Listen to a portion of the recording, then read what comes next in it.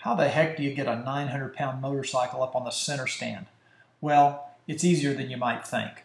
First, make sure your Goldwing is on flat, level surface, a hard surface. Don't try doing this on grass or mud. Now, if the bike is on a decline, you're never going to lift it uphill. It's 950 some odd pounds. It's not going to work. If it's on an incline, you might get it up on the center stand, but you're never going to get it off the center stand because you got to push the bike forward to get it off. So make sure you're on good, flat, hard, level surface before you even attempt this. Now, the first thing is turn the front wheel straight so that the rear wheel and the back wheel are in line with each other. Your left hand needs to be firmly on the left hand grip. Your right hand needs to be firmly on the passenger hand grip. Now you're standing on the left side of the bike.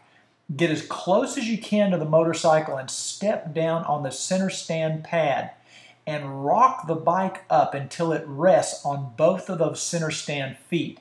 All that's left to do is just basically stand up, put all your weight on that right foot, keep your right arm locked, and pull up as you step down and that's it. You'll notice my left foot actually comes off the ground. That's because I'm putting all my weight on the right foot and I'm lifting up with my right hand and the bike will just pop right up into place. I can do this all day long.